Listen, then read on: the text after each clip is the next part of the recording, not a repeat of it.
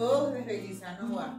Hoy les quiero eh, mostrar cómo elaboro la salsa chimichurri a mi manera. Es una, es una salsa argentina muy rica, pero le vamos a poner un poquito de sabor caribeño.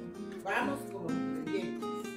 Los ingredientes que voy a utilizar son vinagre, ajo fresco, orégano eh, molido, sal, pimienta recién molida, pimiento molido y seco, pimiento morrón, aceite de todo uso y el ingrediente estrella es el perejil. Vamos a prepararlo. Para prepararlo, después de esterilizar bien el perejil, le retiramos el agua lo más que podamos con una toalla de cocina limpia y procedemos entonces a cortar el perejil con un cuchillo bien filoso. El perejil lo cortamos luego de retirarle los tallos. Básicamente utilizamos hojas.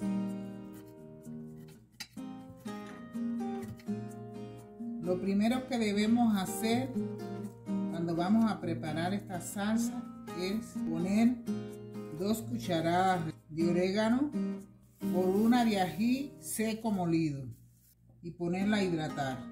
Esto lo ponemos a hidratar después que, lo mezclamos bien con una salmuera previamente preparada. La hidratación la hacemos con agua hervida para que no nos eche a perder la, la salsa.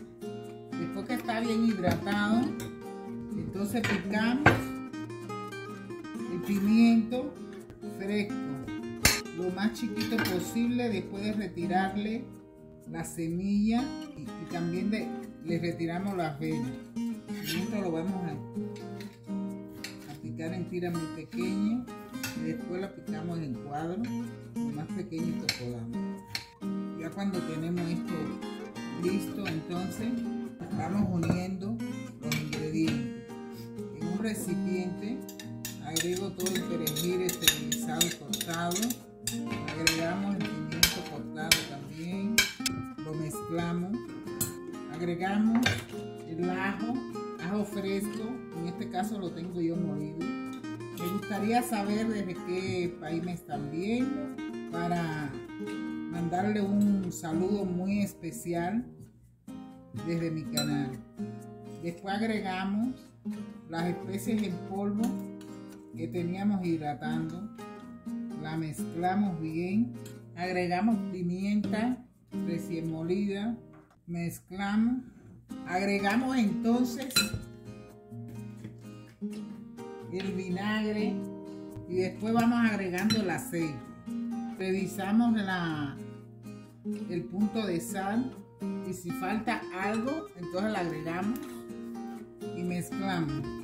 Hasta aquí la receta de eh, de, chimichurri. Les pido si, si les gustó mi video y no se ha suscrito, suscríbase, denme un like y comparte. Gracias por ver mi video, que Dios le bendiga y hasta la próxima.